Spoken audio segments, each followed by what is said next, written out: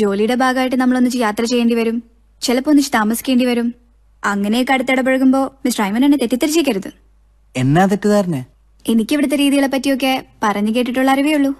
എന്നാലും പെണ്ണുങ്ങളോടുള്ള മലയാളികളുടെ അപ്രോച്ചിൽ എന്തോ ചെറിയ സ്പെല്ലിംഗ് മിസ്റ്റേക്ക് ഇല്ലേന്ന് എനിക്ക് തോന്നിയിട്ടുണ്ട്. പ്രത്യേകിച്ച് അങ്ങനെ തോന്നാൻ?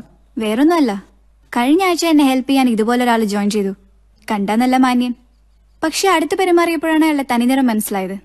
പരിചയപ്പെട്ട രണ്ടാം ദിവസത്തിന് അയാൾ എന്നെ പ്രപ്പോസ് ചെയ്തു. ആ അങ്ങനത്തെ ചില ഞരമ്പുകൾ എല്ലായിടത്തും ഇല്ലയോ? പക്ഷെ ജനറലൈസ് ചെയ്യണ്ട. അയ്യോ മിസ്റ്റർ ഐമൻ അങ്ങനത്തെ ആളാന്ന് എനിക്ക് തോന്നുന്നില്ല കേട്ടോ. സത്യത്തിൽ മിസ്റ്റർ ഐമൻ എന്നെ മാഡം എന്ന് വിളിച്ചപ്പോ എനിക്ക് അത്ഭുതം തോന്നി. പ്രായം കൊണ്ടോ സ്റ്റാറ്റസ് കൊണ്ടോ എന്നെ അങ്ങനെ വിളിക്കേണ്ട കാര്യമില്ല. അയ്യോ അത് ഞാൻ ചുമ്മാ തമാശക്ക് വിളിച്ച. നിർത്തിയേക്കാം വേണ്ട വേണ്ട. വിളിച്ച സ്ഥിതിക്ക് അത് മാറ്റണ്ട. അതിലൊരു സേഫ് ഡിസ്റ്റൻസ് ഉണ്ട്. അത് നല്ലതാ.